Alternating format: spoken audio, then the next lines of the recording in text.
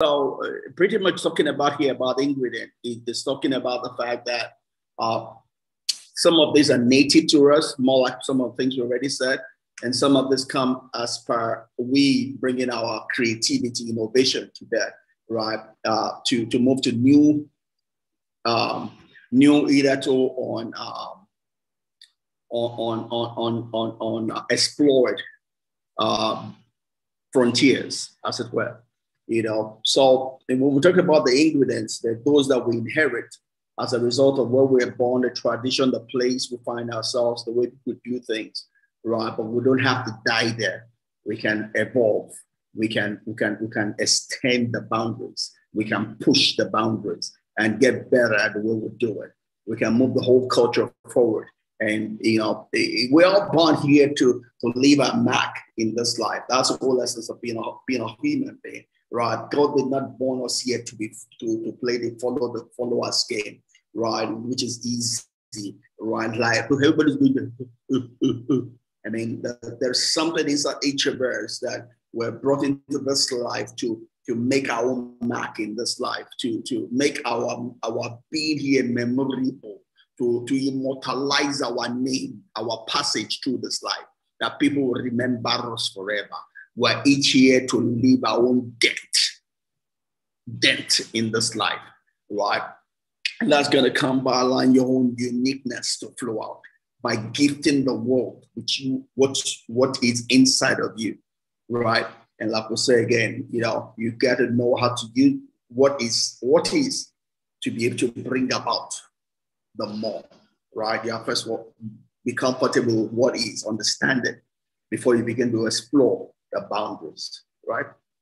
Uh, and, and, just to speak a bit more on that, you know, um, Dr. Frank Thomas was writing sermons are developed out of raw materials or ingredients of a tradition, you know, and, and really, if, if you're going to communicate to a particular set group, uh, you have to understand their culture you have to understand the way they communicate. Otherwise, you're just going to be speaking Latin and nobody's going to understand what you're saying, right? If, if, if there's a particular segment you want to speak to, you need to understand them enough to be able to reach them because uh, it might be the same English you speak it, but the way of speaking it might be different. Interpretation of words might be different. Intonation might be different. Pitch might be different. And there might be different understandings that come from those differences, right? Don't forget again, a very small percentage of our communication is by words, right? People are reading meaning to what we're saying, but what they are seeing, not necessarily what they're hearing. And what they're seeing influences what they hear. What they're seeing can change entire words that they are hearing just because of the, what they are seeing, the way I'm moving my hand, it, it's a communication that overrides even the words that I'm saying. So if there's no harmony between the way I'm gesticulating and the, what the words I'm saying, I might be communicating something other than what I want to communicate to the person that's hearing me. The person that's hearing me might be hearing something entirely different from what my intent is and therefore communication has not taken place, right? So, you know, I need to understand the tradition, uh, the, the culture of the people I'm, I'm trying to talk to, right? So that all that I'm doing, my words, my gesticulation can achieve, be in harmony to pass the message, the intended message across to the person I'm saying it to. So, and that's what uh, Dr. Frank Thomas was saying here, is the need to understand the tradition, the culture of the people and that has come from where their roots, the history, all of that. I need to be able to find my way in there.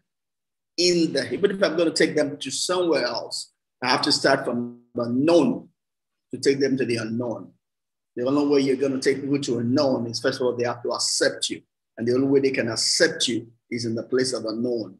They have, they have to see you as one of them to be able to follow you to where you want to take them to. Don't forget, leadership is a gift that is given to the to the to the leader by the followership. It's not something you take by force.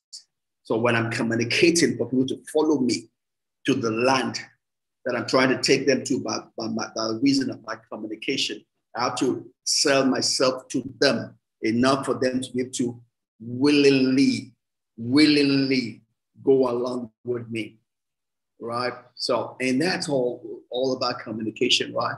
Just you have to meet people where they are. They don't have to come to where you are. That's not the first place. You have to come to where go to where they are. Then you can take them to where it is that you are or wherever you want to go to. People have to accept you and be willing to follow you for you to have communication. You know, otherwise you're, you're speaking Latin, right?